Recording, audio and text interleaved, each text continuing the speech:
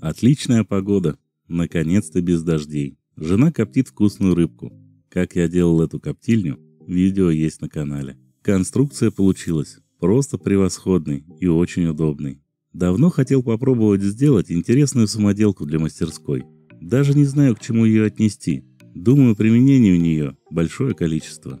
Сегодня поэкспериментирую и воплощу ее в жизнь. Здравствуйте, друзья! Совершенно простейшая конструкция, минимальная себестоимость и множество применений меня в этой идее и подкупили. Помощниками будут мои самодельные станочки из прошлых видео. Поехали! Для всей конструкции расход материала совсем небольшой. Я купил пару метров трубы 15 на 15, метр профиля 20 на 40, небольшие кусочки металла пятерки нашел у себя в обрезках, петля под сварку за 100 рублей, ну и там по мелочи.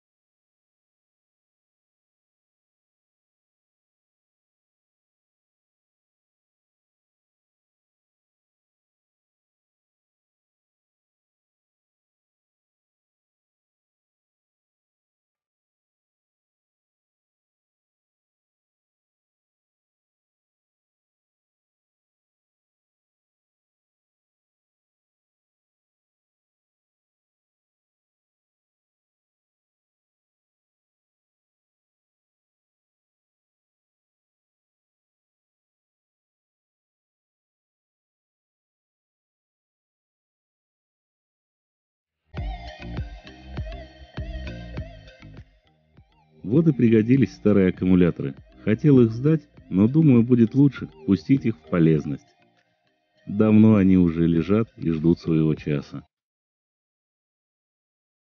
Парни, вы представляете, напротив дома выросли грибы. Хотел бы узнать, съедобные они или нет. Теща их есть почему-то отказалась.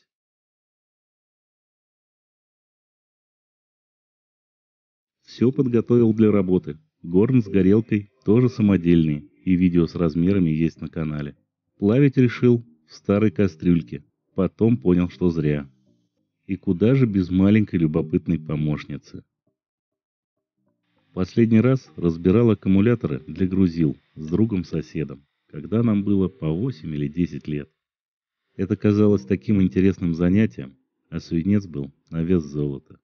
Ходили за карасями за 5 километров и периодически получали ремня, что никого не спросили. Кастрюлька, которую я плавил, конечно же, быстро прогорела, и все разлилось. Мне, как всегда, везет. Погода просто сказочная.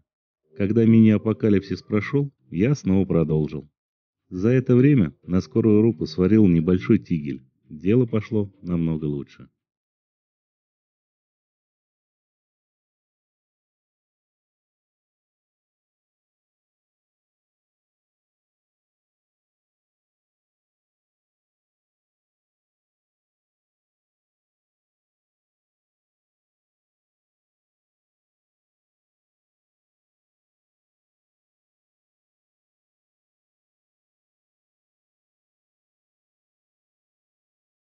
Чтобы парные детали были поточнее, обрабатывал их вместе, скрепленными болтами. Таких пар было две. К одной я приварю муфту М20, а к другой паре – часть купленной петли. Странно, их делают на токарном станке, а люфт на петле почему-то очень ощутимый.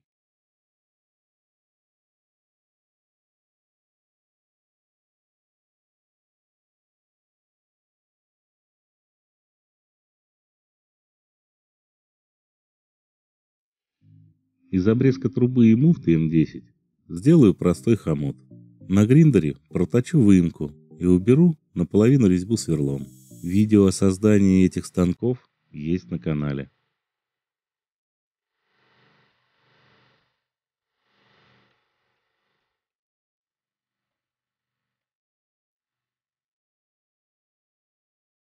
Ребята, а вы знаете, что у меня сейчас на улице? А вот что. Красивейший восход. Сейчас почти 4 утра. От старой шпильки М20 отрезал небольшой кусочек и обработал его на гриндере для сварки с получившимся хомутом. Это и будет экспериментальным универсальным креплением чего угодно.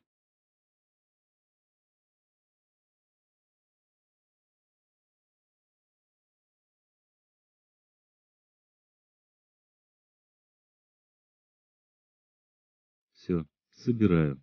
Все приварил. Немного обточил муфту. Через шайбы прикрутил все элементы. Гайки на концах в сумме с нарезанной резьбой в пластине контрируют болты и регулируют сжатие. Сделал также вот еще такие пластины. В одной из них есть резьба М10. Все через шайбочки. На штангах приварил крепления для мною любимых газлифтов. Они входят в их комплект. Сначала сделал без них, но потом добавил, и с ними точно лучше.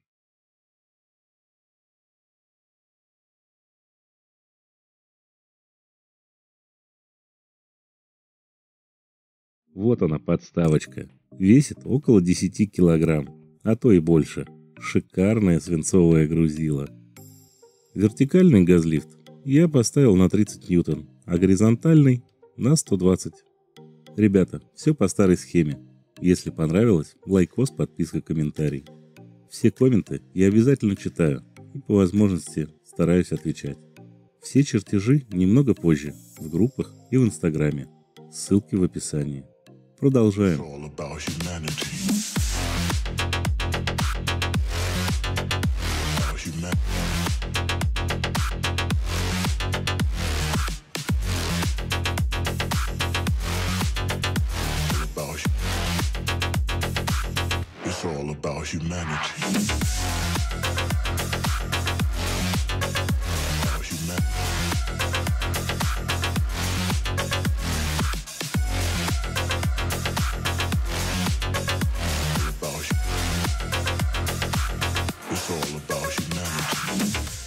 Вот что получилось.